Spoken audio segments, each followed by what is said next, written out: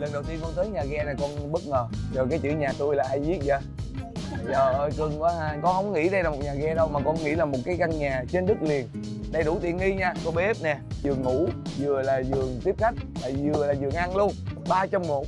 Đặc biệt là cái mái nhà à, cho mình thấy á, là đây là một căn nhà. Chứ con không nghĩ là một cái ghe đây là một mình chú làm hết hả cô? Mình chú làm. Không làm nữa hết chìm luôn sao làm xương chữa không sửa nó một hết rồi chứ nó một một khúc nào cái mình sửa khúc nấy để nhưng mà mà một hết thì mình cũng phải bỏ. Chứ ghe giờ nó cũng bụi nó cũng mục rồi.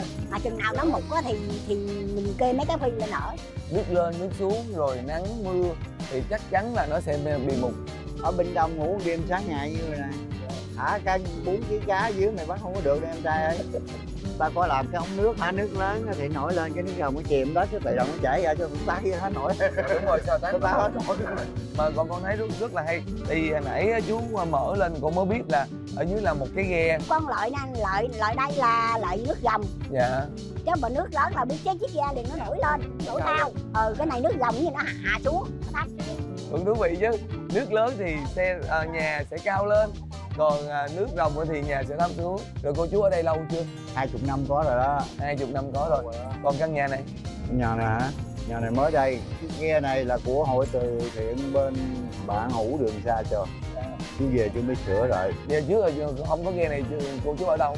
Có chiếc ghe cũ. mà cho đi. ghe cũ có chiếc ghe cũ mà cái ghe cũ có chút xíu xem ở. Ừ ba tấn đó.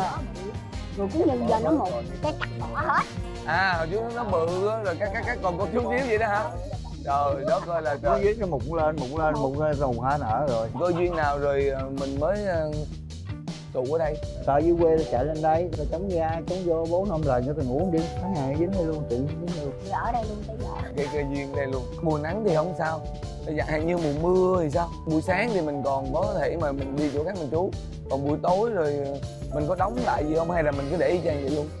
Để vậy cái này sụp xuống thôi còn cái đó là đâu có đóng được đâu. Cái đó cũng để vậy. Thấy tạt cái đó là dùng lần sau tạt ở bên này chạy bên kia chạy nó né né qua né lại. Này có bị dồn không chú có lắp gì cho nó đỡ dồn không? Cũng có khi bị dụ có gì không hên tôi rồi đặc biệt là những lúc mà giông gió thì sao? Giông gió thì nó thổi dữ lắm mà nha.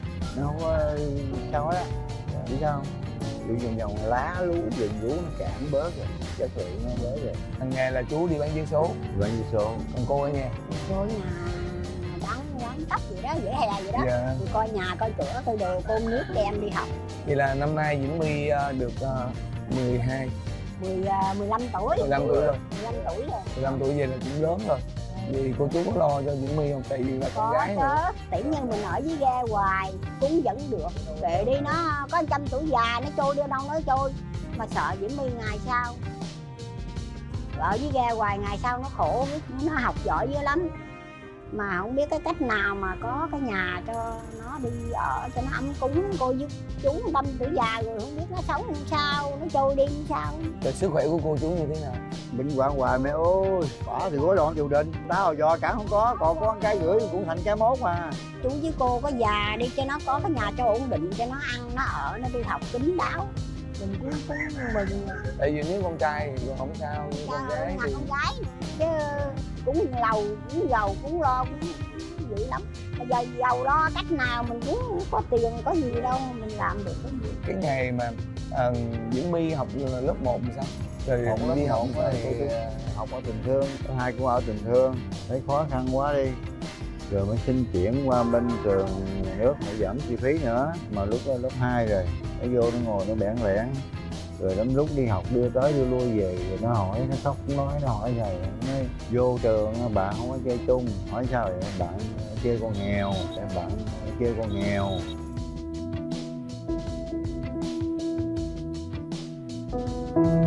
Nghe con nói cũng thấy tội tội bị bắt gặp một lần thấy tội rồi, bây giờ thêm một lần nữa. Lần đầu là lại siêu thị lúc còn nhỏ, có chú kia khoảng chừng hai chục tuổi. Rồi ẩm một đứa nhỏ chạy qua một cái ờ, dàn đồ chơi điện tử, mua, rồi nó cũng phải, tôi ngồi ở đây cái nó chạy theo người đó chơi cũng gần gần vậy. Cứ theo con người ta chơi mà hả ông kia mua đồ cho cháu nọ thì nó đứng nó nhìn nó nhìn mình thấy những cái ý của nó muốn mua mà nhưng nó biết cái bản thân là không có tiền.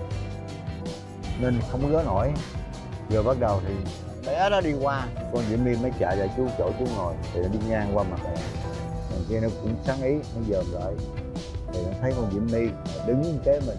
Cứ dòm lom lom theo cái người mua đồ chơi cho con họ. Cách khoảng coi chừng 4 mét, chú nọ mới quay trở lại. Nó mua cho diễm my một cái cây kiếm gì đó mà chớp chớp đèn á ôi nó cầm cây kiếm mà hai tay nó về mà nó nhảy nhảy nhảy nó múa nó mừng nó mừng. Thằng kia đứng cười cười bỏ đi. Rồi lần thứ hai vào trường con mình nha, nói bạn nó không chơi chung. Nó chê con nghèo bỏ với ghe không chơi chung mà nó vừa nói với mình nó vừa khóc. Thôi con còn vô trường á không phải gì lớn mới có bạn còn nhỏ chưa có bạn. Vô trường là đi học chữ vô trường là mới chơi với cô.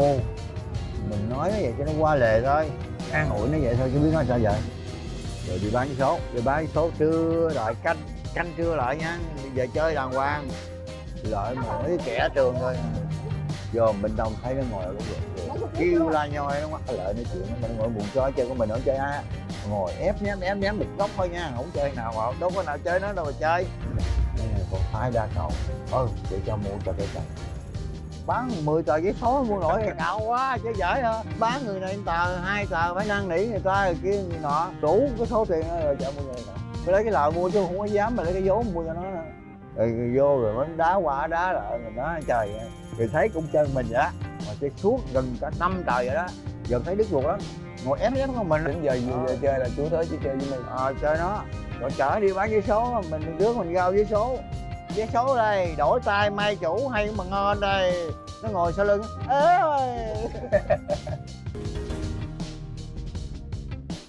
có đóng tiền trường hay gì đóng đâu có đóng á. Đóng tháng có một triệu mấy à từ ra giờ chú đi bán vé số là lo cho em đi học vậy á. Khi mà em ở căn nhà ờ, lý tưởng như thế này em có cảm xúc như hay là ờ, cảm nghĩ như thế nào nói cho anh hiệp cũng như là mọi người biết được không? Em cảm thấy là ở như thế này là rất là vui. Ở những ngôi nhà em cảm thấy là hơi chật chội nhưng ở đây em hòa mình vào thiên nhiên rất là vui. Có làn gió mát thổi qua thì em cảm thấy tâm trạng nó trở nên tốt hơn là ở trong nhà. Mình ở đây là sẽ gặp ờ, mưa nắng nè đó rồi bão tố rồi lúc đó thì sao? Lúc mà nhỏ sợ không? Có ba với mẹ ôm nên là không sợ từ lớn cái là hết sợ luôn. Lúc đó còn nhỏ á, nên là không biết gió nó thế nào. Thế là ra khỏi đứng ở đó gió nó hỏi xém nó bay luôn. Cái là sợ hú hồn chạy vô khóc khóc khóc khóc chạy vô ba liền. Khi mà mình sinh ra trong một ờ, cuộc sống khó khăn và như vậy thì mình có bao giờ mình tuổi về số phận của mình không? Đôi lúc á, thì con cũng thấy tủi hơn. Tại mấy bạn ấy là khoe có nhà cửa, phòng nè, rồi cả căn bếp, có bốn bức tường nữa. Bạn ấy nói là ở trong nhà là cách ly với mọi thứ nên là rất là vui. Thì em không biết sao luôn, là lúc đó em nghĩ tới nhà mình á, là cũng không có bốn bức tường, nhưng mà đổi lại có bốn tấm dây mũ. Nên là em cũng hơi buồn buồn tí thôi sau đó em dần lớn lên cái em thấy ở vậy tốt hơn nhiều. Rồi mỗi lần đi học là là My tự đi học hay ai đưa đi, đi học? Dạ ba đưa đi. Ba đi học rồi ba đón về. Ừ. cuộc sống gì nè. Ừ, Diễm My thấy có khó khăn gì không? Em thấy hiện tại tốt hơn rồi nên là không thấy khó khăn gì hết. Em chỉ sợ tương lai thôi. Không được như mong mình mong muốn mặc dù mình cũng đã cố gắng hết sức. Bây giờ mình cố gắng học giỏi. Dạ. học giỏi thì khi mình có kiến thức rồi mình có công an việc làm ổn định thì mình sẽ có một cái nguồn kinh tế ổn định để mình lo cho ba mẹ Dạ. đúng không? Rồi con có sợ mất ba mẹ không? Dạ có điều đó rất là sợ luôn. Ai mà cũng muốn có ba mẹ của mình hết trơn á. Rồi à, mong muốn của Diễm My à, sau này như thế nào? Em muốn học giỏi lên để mình vượt qua khó khăn giúp cho ba mẹ. Sau này sẽ trở thành một bác sĩ để có thể chữa bệnh cho các chân các cha rồi giúp đỡ những người nghèo đi từ thiện ở mọi nơi nhất là ba ba đã khổ lắm rồi nên là em muốn dùng cả tương lai để có thể có thật nhiều tiền mua nhà mua đất để cho ba mẹ mình có một nơi nghỉ ngơi hơn là ở đây mặc dù ở đây tốt. Cô chia sẻ thấy Diễm My à, ngủ mà cái mùng phải uh, chấp Dạ. giá. Thấy thương quá mà thật sự là nơi này mà nếu mà không có mùng là không có một dữ lắm. dữ lắm. Mùi mùng dữ lắm. Cho nên là hôm nay anh Hòa Hiệp cũng như là chương trình à, sẽ gửi tặng cho Diễm My. À, đầu tiên là cái mùng. Đó sẽ có một cái mùng mới không phải bị chấp giá và ngủ sẽ ngon giấc hơn. Cái mền cũng như là bộ à, chăn ra để mà cho mình ấm trong những mùa mưa bão. Rồi còn đây là một à, gọi là suất học bổng. À, của chương trình gửi cho Diễm My để à, chị Diễm My có thể à, mua à, sách vở hoặc là đồ cần thiết trong học tập của mình dạ con cảm ơn. Với nơi uh, phố thị như thế này ở thành phố như thế này thì uh, chắc chắn là cuộc sống nó sẽ uh, khó khăn hơn so với ở dưới quê. Thì cô chú có khi, có khi nào nghĩ là ở đây nó khó khăn quá thì mình trở về quê không? Không có mơ mà ông trở về quê vì chú như thế này mà trở về quê rồi làm sao mà sống nổi ở quê có mấy người đâu họ lên thành phố hết rồi mình cũng phải đeo theo lên đây mận này cũng được mận cái kia bán cái số cũng vậy. Đây đi ra đụng người bán được vô đụng người bán được. Còn ở dưới quê xa xa mới có cái nhà. Mà đâu phải mỗi nhà mỗi có tiền đâu. Có nhà cũng tiền nhiều lắm có nhà cũng không có tiền mua đâu có khi nào đi bán vé số rồi chú chừa lại một tờ vé số để chú cầu may không? Hy vọng mình trúng độc đắc không? Chú cũng hy vọng chúng đột đắc mà ngược lại con cái chú không dám chừa biết sao chú nghĩ gạo tới mười mấy ngàn ký lần chừa mất cái nửa ký gạo ta rồi. Thôi dạ. Để mua gạo ăn đi. Mai bán tiếp. Dù khó khăn thế nào dù vất vả thế nào tinh thần của chú vẫn là lạc quan. À, vẫn rất là tích cực. Và con hy vọng rằng với sự lạc quan và tích cực đó sẽ làm cho chú khỏe yêu đời và sống lâu. Với Diễm My Hội Hiệp sẽ mến chúc cho cô chú đặc biệt là nhiều sức khỏe. Bây giờ quan trọng là sức khỏe. Sức khỏe để lo cho bản thân mình nè lo cho Diễm My. Đó, một chặng đường rất dài nha. Con cảm ơn cô chú rất là nhiều. Vừa rồi thì à, chúng ta đã cùng với Hòa Hiệp và chương trình nghệ sĩ du ký chúng ta cùng đến tham quan và khám phá một à, các nhà ghe tại thành phố Hồ Chí Minh. Và đặc biệt là chúng ta được gặp gỡ trò chuyện với gia đình của cô chú.